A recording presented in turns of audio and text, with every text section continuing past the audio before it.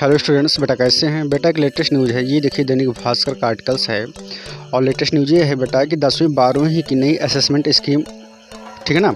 सी B S ई साल academic session को दो हिस्सों में, पहले नवंबर, दिसंबर में और फिर मार्च, अप्रैल में। अर्थात अब बेटा साल में दो बार आपके पेपर होंगे जो टेंथ और ट्वेल्थ में बच्चे हैं, ठीक है ना? पहला होगा बेटा नवंबर, दिसंबर में फिफ्टी परसेंट कोर्स कंप्लीट किया जाएगा, फिर दूसरा होगा बेटा मार्च, अप्रैल में।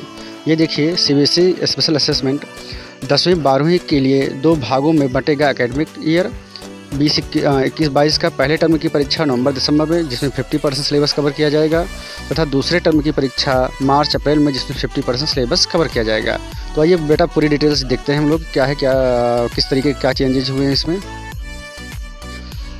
सी बी एस ने सोमवार को सर्कुलर जारी कर बताया कि 2021-22 के अकेडमिक सेशन को दो टर्म में बांटा गया, प्रत्येक टर्म 50 परसेंट सिलेबस कवर किया जाएगा।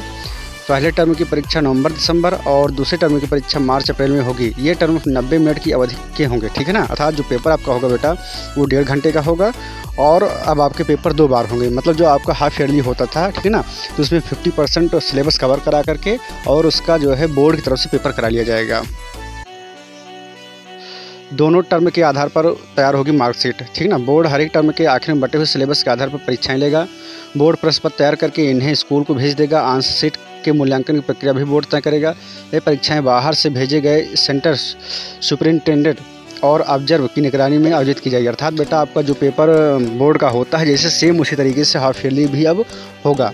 बच्चे पहले और दूसरे टर्म में जो नंबर हासिल करेंगे, उसके आधार पर अंतिम मार्कशीट तैयार की जाएगी। ठीक बेटा?